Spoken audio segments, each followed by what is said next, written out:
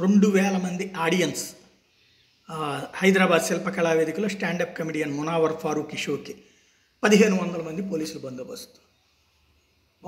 ప్రజల హక్కులు కాపాడాం. ఇది కేసీఆర్ ప్రభుత్వం. కరెక్ట్. కాపాడాలి కూడా. అక్కడికి వచ్చినటువంటి వ్యక్తి తను గతంలో దేవుళ్ళని సరదాగా బూతులు తిట్టాడు. హిందూ దేవుళ్ళని చాలా వెటకారం ఆడాడు. పచ్చి బూతులు తిట్టాడు. దేవుళ్ళని కామెడీకి వాడాడు. అతని హక్కు.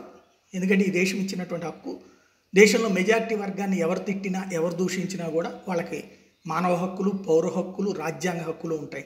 అదే మైనార్టీల విషయంలోకి అయితే కనుక పీకలు నరికినా పీకలు కోసినా తన్నినా తప్పేం లేదు. ఎందుకంటే వాళ్ళ ఆంతరంగిక వ్యవహారాల్లో జోక్యం.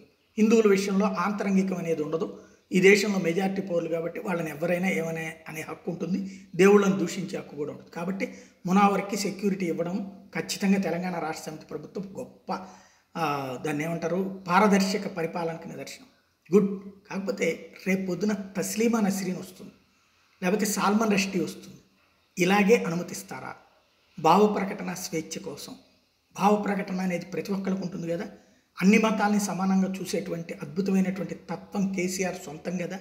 తెలంగాణ రాష్ట్ర సమితి ప్రభుత్వం అనేటువంటిది అద్భుతం కదా. ఆ, కోణంలో ఏమైనా చేస్తుందా?